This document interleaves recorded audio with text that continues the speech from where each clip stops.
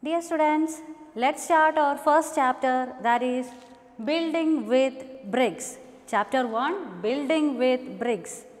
So, this lesson is a very simple lesson and this lesson deals with brick patterns. Okay, you know what a brick right? Have you seen brick? It looks like this. This is a sponge but bricks looks like this. I will show you one example of brick. Okay. You know what a brick? See this, this is a brick. So, this lesson deals with brick patterns. Okay. Bricks are mainly used for building purposes. You know that, right?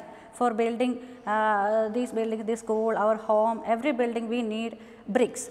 So, for building purposes we use bricks. So, I will show you some brick patterns. Okay. These are some of the brick patterns. Look this. This is one brick pattern. This is another brick pattern. This is the third one. Another one. So, when we look around we can see different brick patterns, right. So, children you have to take your notebook and draw any brick patterns, okay. You have to take your notebook and look around. First you look around the environment, you can see different patterns and you have to copy any brick pattern in your notebook, okay. Will you do that? Can you do it? Okay. Then children in your textbook in page number 2 there is so there are some brick patterns okay. You see this? Can you see this brick patterns in your textbook?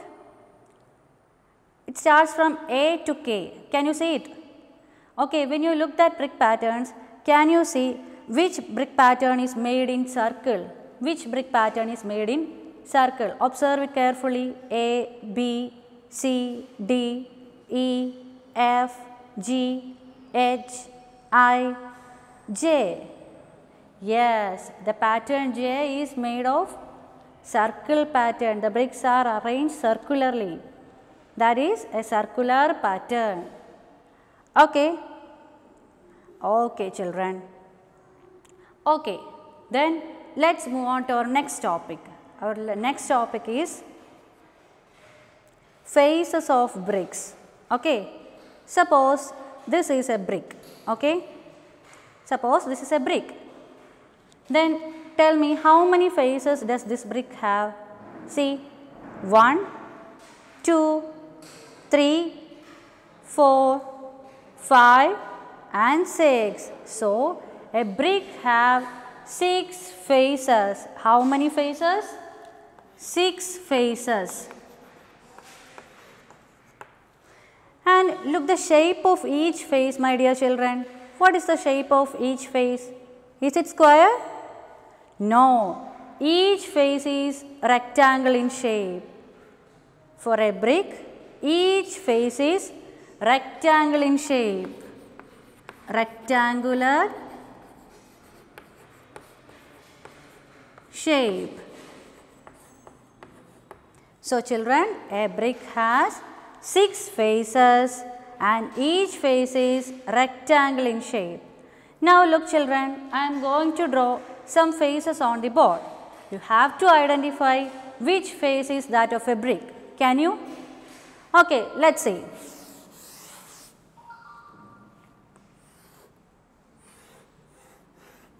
One, two,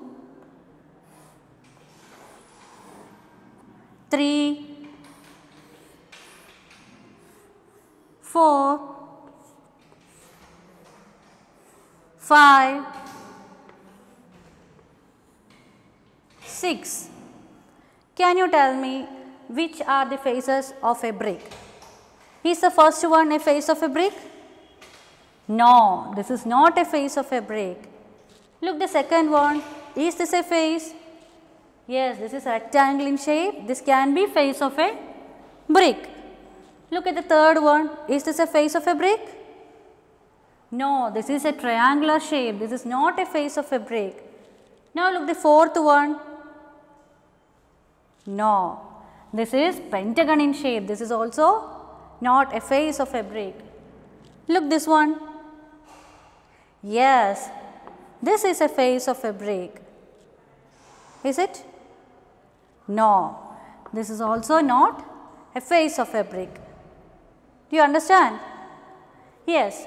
Now I am going to draw some other pictures and you have to tell me the shape of a brick. Which one is similar to the shape of a brick? Look children. One, two,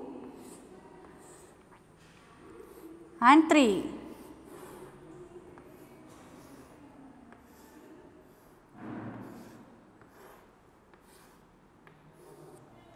Which one looks like a brick? Is it look like a brick? No. Second one? No. And third one? Yes, this, this looks like a brick. So, you got the point? Did you understand the topic? Yes. So, we have seen many brick patterns. We see how many faces a brick have and the shape of a brick. All these you understand, right? So, children, let's move on to our next topic. That is, I am going to draw two walls with bricks. Okay. This is the first wall. See children, how I am drawing?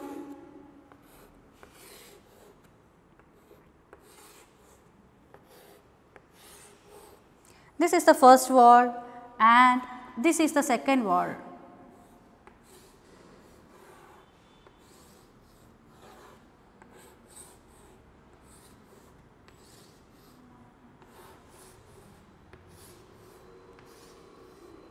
These are the two walls made of bricks. Children, which wall is stronger? Think, think. Which wall is stronger, the first one or the second one? Do you think which is stronger and why? Can you tell me the reason? Yes, the first wall is stronger than the second wall. Why? The first wall there is support from two sides therefore, this will not fall easily. But when we see the second wall, this is placed exactly one above the other one brick is placed exactly one above the other. So, there is a chance of falling down. When we build it higher and higher, this will fall down easily. But in this type, here there is support from the two sides. Even the masons will not follow this one. They will follow this pattern only.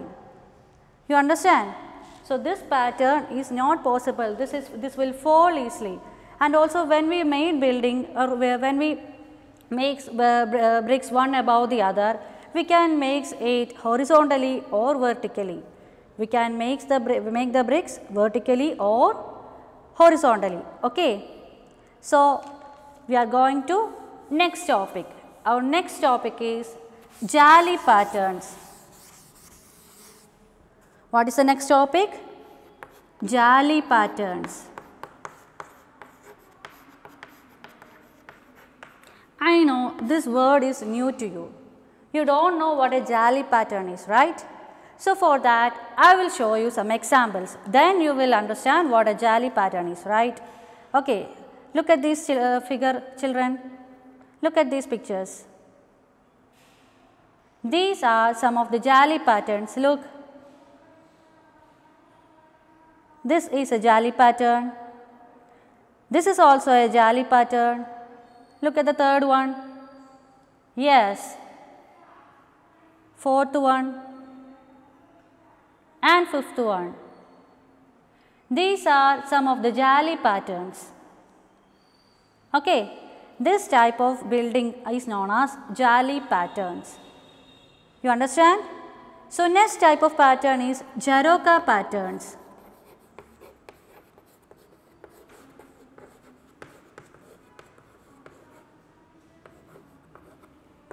Next is Jharokha patterns. This also I will show you example. Okay. Look children, this type of ventilator. You see in this figure there is a huge ventilator. This type of ventilators are known as Jharokha patterns. These were used in ancient buildings, palaces like that. You see these images? These are some of the Jharokha patterns. Okay. So, the third pattern is arch pattern. What is the third? Arch pattern.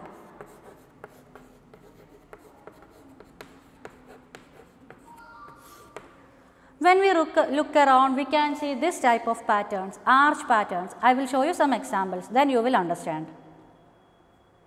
See this? These are some of the arch patterns. Look this arch 1, second pattern, third pattern and the fourth pattern. These are some of the arch patterns. So children, in your notebook, you have to draw these three types of patterns. Jali patterns, you have to search and you have to draw a Jali pattern in your notebook. Jharokha pattern, you have to write the heading and you have to draw a Jharokha pattern. And the arch pattern, you have to look around your environment and find from anywhere and you can draw that pattern in your notebook. So, this is a simple lesson and thereby we conclude this chapter. Thank you children.